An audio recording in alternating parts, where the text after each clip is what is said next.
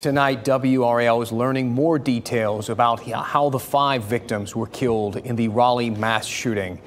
WRAL's Chris Lovingood joining us now. And Chris, the details on the suspect's brother were frankly hard to hear. I mean, they're grim, Dan. And that's 16 year old James Thompson. That was the one that was tough to read. He's the brother of accused shooter, 15 year old Austin Thompson. And before we get into these details, I just want to warn you some of this is hard to hear.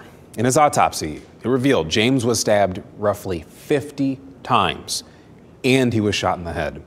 The medical examiner also noted the other victims, Mary Marshall, Officer Gabriel Torres, and Nicole Connors, were shot multiple times. Susan Karnatz's autopsy, though, indicated she was shot just one time. And at last check, gunman Austin Thompson remains in juvenile custody and is expected to be tried as an adult. I did reach out to his parents' attorney to get their reaction on the autopsy of their other son being released, but their attorney declined to comment for the story, Dan. Just, just devastating, honestly. Chris, thank you.